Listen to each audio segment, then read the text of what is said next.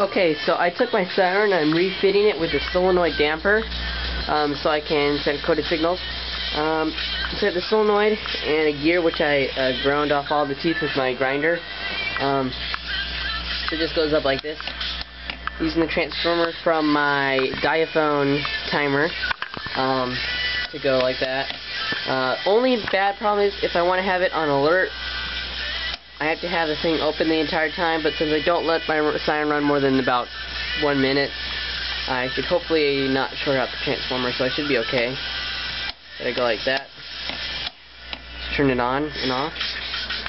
So, I will do that. Get the tripod adjusted.